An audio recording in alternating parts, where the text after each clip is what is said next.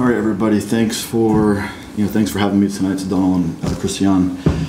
It's interesting. I'm from I'm from New York, and I think I've been to Dublin about five or six times in the past couple of years. You know, all regarding the topic tonight around network automation. So it's just for one, I love Dublin. Most importantly, I come from the United States where we have great buffalo wings. An Elephant and Castle and Temple Bar has like the best buffalo wings uh, to, to, die for. So I'll be back here as much as possible.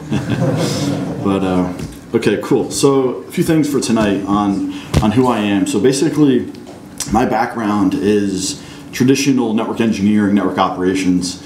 Right, I spent time at uh, Cisco, you know, years ago. Spent time at your traditional reseller integrator, and in talking about Cisco transitioning back in 2012 and 13, really in 14 was really the shift in my career when they announced something called onePK. Now it's now it's going on maybe you know seven or eight years ago, which was the first SDK for a network device. Right, it's very common for an iPhone or Android to have an SDK. And so back then, I kind of had the opportunity to, to really experiment and learn about what that meant for networking, working with you know, Python, C, and Java. And it was really eye-opening because at the time, as an industry, we were very much focused around around OpenFlow and control plane type stuff. And I think it really kind of brought to light the issue with manageability and, and operations.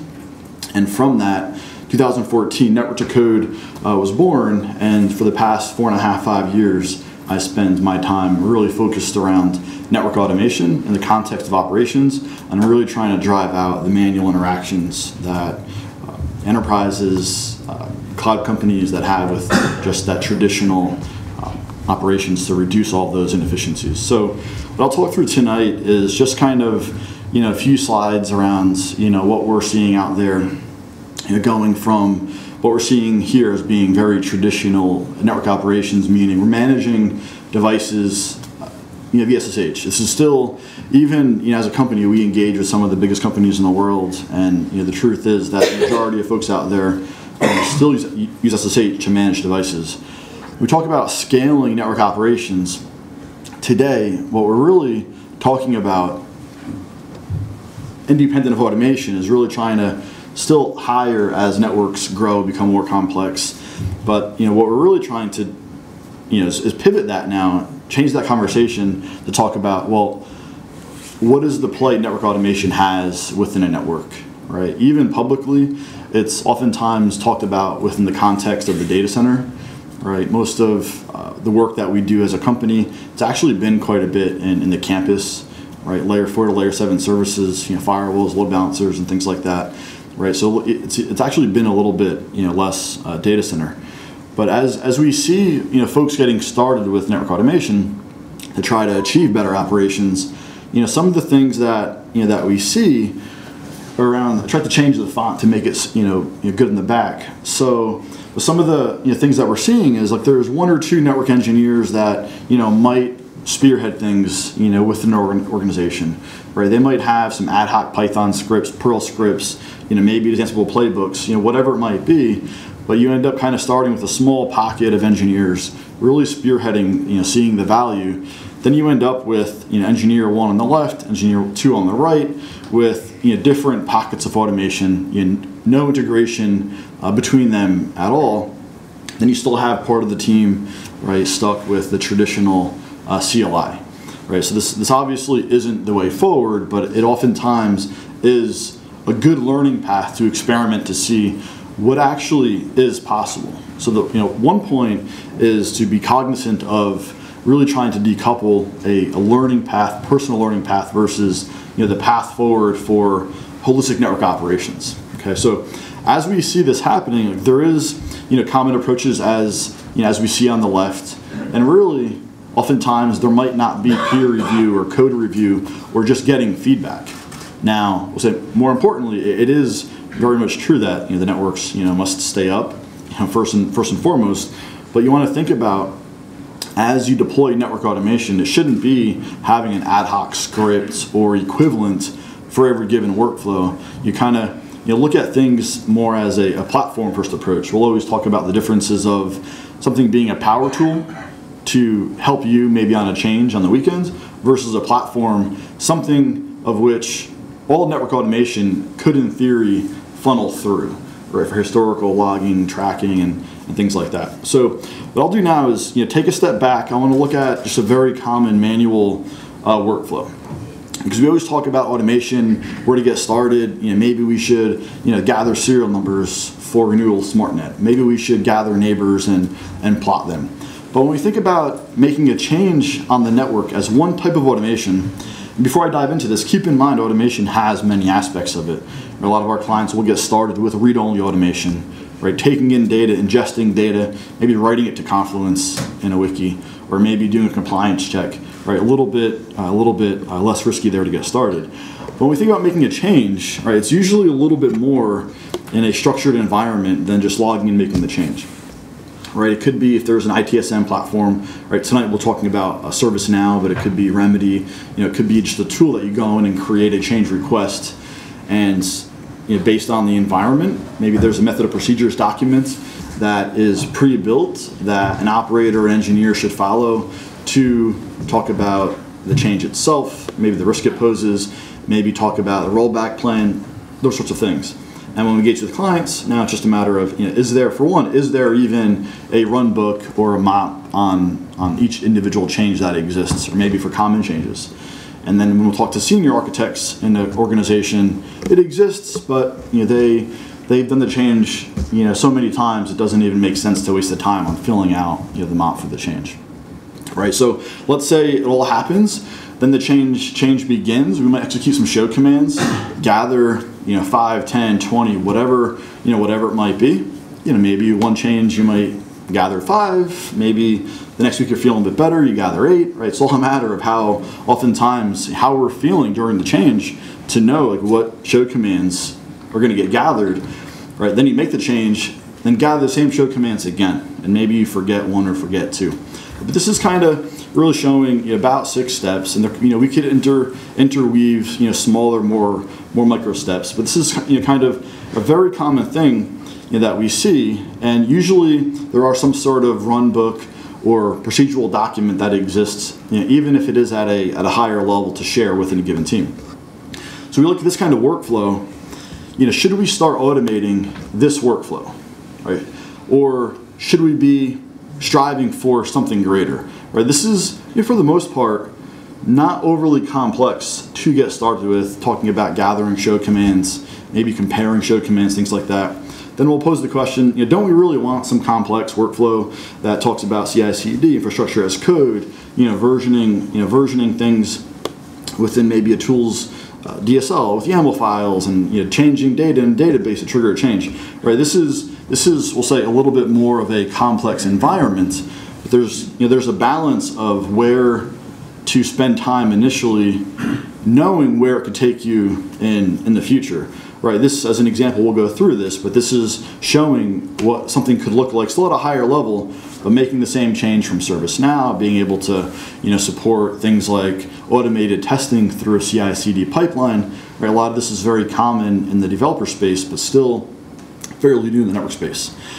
So if we take a step back, kind of you know, get started going back to a more basic workflow or going straight for the traditional infrastructure as code CI/CD pipeline, you know, what do we do? Again, personal feeling, get started. There's no better time than probably a couple years ago or tomorrow to, to get started, no matter how small or how large of a problem that, you know, that it's going to be longer term. But what we really want to do is, is really have the message, you know, get started right? Starting with simple workflows is really going to make a difference in you know the big picture as things are you know as things are uh, pursued. So what I'm going to do now is kind of walk through what I'm going to demo. because I'm going to show some of this live uh, tonight. Hopefully the wireless for me you know stays uh, holding strong. But so we're gonna we're gonna talk about how we can make a change through various mechanisms. Right. So ServiceNow, very popular ITS ITSM tool, IT service management. Again, could be Remedy. So ServiceNow is going to track all of our tickets. Right, so we're going to we're going to issue a network change down to Cisco CSR 1000V devices directly from ServiceNow. We're going to make the same change directly from from Ansible, right? Very common platform uh, from Red Hat in the open source space. And then added, we're going to throw in Slack there as well to be able to uh, issue a chat commands from Slack to trigger the same exact workflow. Okay. Now, what's very common is what I'm showing here, where as as you know, our clients and enterprises try to tackle these problems, you actually may have multiple entry points to the network, which now you might have the same workflow be triggered from Ansible and at work and fail from ServiceNow.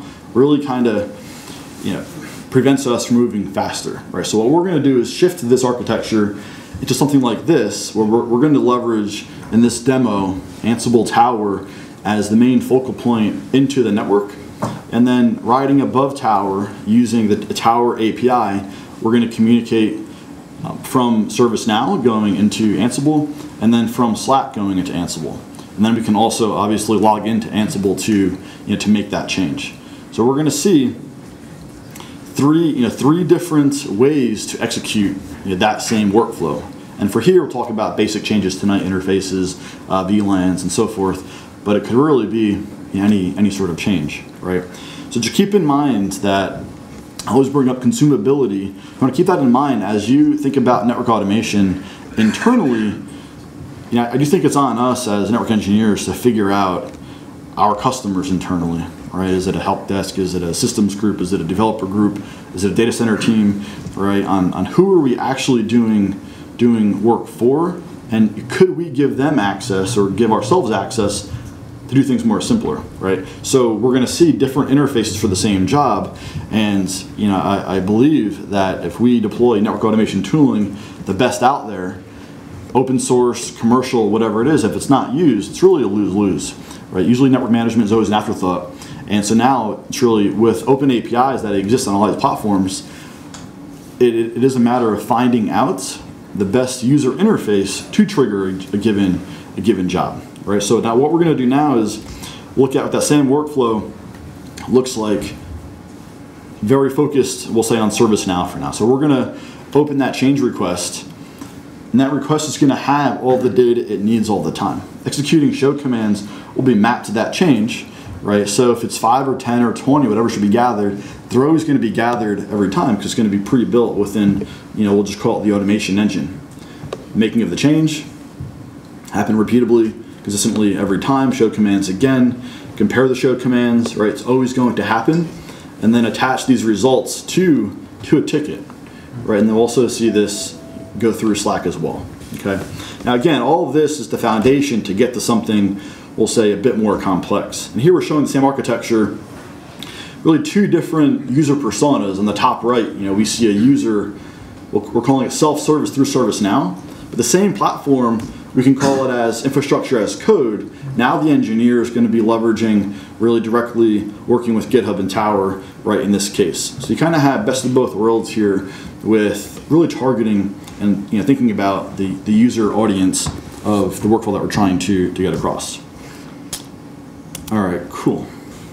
So what I'm going to do is jump into to a live demo. All right, so again, so what we're really going to show is, is just what we discussed, leveraging combination of, of Ansible as the main engine to the device and looking at both ServiceNow and, uh, and Slack as the way we can trigger and take inputs from a user to trigger that job, okay?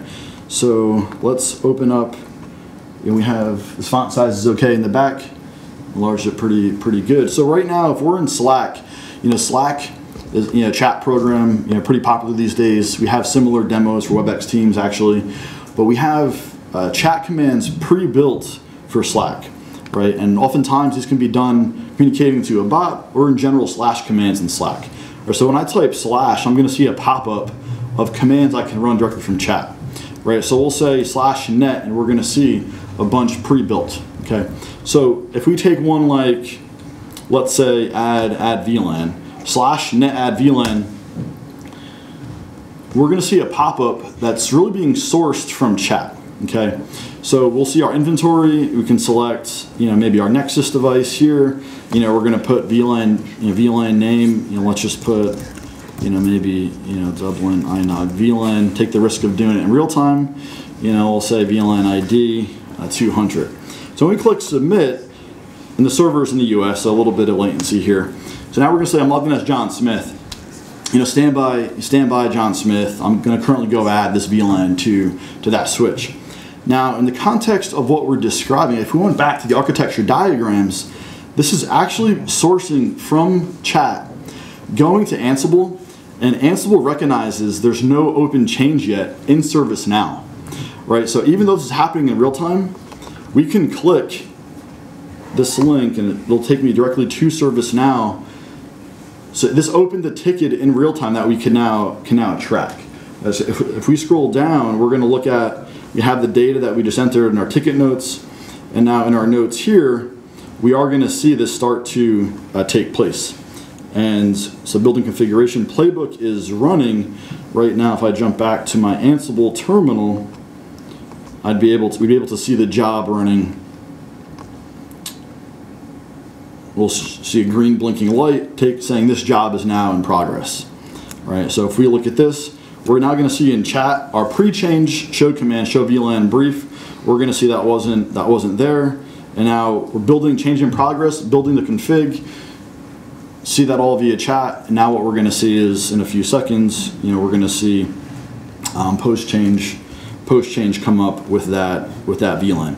So this was sourcing that change directly from from Slack, still being tracked in in ServiceNow. We have a lot of poses in, in the playbook for speaking over it. But if we were to come in now to uh, ServiceNow, actually on that note, I'm going to go back to that change to show something real quick. This should be the last one that we opened. If we go back into notes, we're still we still have that output, right? So that's being sent back into the actual uh, ServiceNow ticket as well as as well as chat. Help desk, popular one. Again, this is ideally if you have Jack IDs around the campus, right? For help desk meaning, might not know the actual host name of the switch, IP address, right? Things like that. So we'll just say maybe it should be an IP phone or a guest user, you know, whatever it might be, right? So we'll just say because I said so. We'll put that in here. So, and right now for the demo, what we've done, but this is still true in the enterprise space, is it pre-approved or not? right, through ITIL standards, and if it's something that happens all the time, now it's automated, we could do a pre-approved change or not, right? So if we did pre-approved, click submit, it's really no different than, you know, than what we just looked at. The difference of if we don't check that box, we would then have to log in as a different user to, to approve it, okay? So as that gets kicked off, let's, let's do one come back here to our tickets and the VLAN looks like it was closed. Timer was a little bit longer than than expected. But we have the post change going back to the first change that we started. We'll see we'll see the same exact thing. Now, even if we come back to to any of these workflows, all being tracked in Slack. And there's toggles. If it's if it's too verbose in chat, we can kind of fix the verbiage and, and what makes sense. These can even be DMs, right? If you don't want to go to a public channel, right? And in all of these, we can trigger them from Slack. Right now, for for us, anything from Slack is real time. Anything from ServiceNow you have the option is a change required or or not. I'll show that one in just a second, right? So if we did one more of these demos, there's also to retrieve data right? So if we were to say get facts, facts about a device or things like OS version, maybe neighbors, right? You would still define what facts are, but in this demo, you know, we're going to say, you know, get facts of a, of a given device. We'll just say our Cisco CSR router. We'll say CSR1, you know, click submit. Again, our, we'll say our bot now that's integrated to, to chat is going to go to the device, really issue a number of show commands. You can get them aggregated and then what we should see here in just about 30 seconds to a minute, because even this is happening through is happening through Ansible, right? So even historical logging and tracking is still is still all there, right? So we got the facts back. We see our neighbors on Gigi one, Gigi two, Gigi four, OS version, you know, serial number, and this is where opportunities are really up to you, up to us to figure out, you know, what are the right uh, chat commands. As an example, maybe it's getting data, Maybe it's validating compliance, maybe it's issuing show commands natively, triggering predefined jobs, and at the same time, you know, we have various things. Again, it could be switch port, you know, it could be you know, for a network person, host name of the device, interface, and so on. to make the change. All right, so this is sort of what I have uh, for tonight, but really just thinking differently about network operations. In the open source space, it's very common to talk about infrastructure as code, but you know, I'll say supporting a lot of enterprises, right, still don't want to lose track of change requests, auditing, historical tracking, and things like that. So this, you know, combining, you know, tracking capabilities of ITSM plus an automation tool really adds a lot of value to, you know, what can be done with network automation.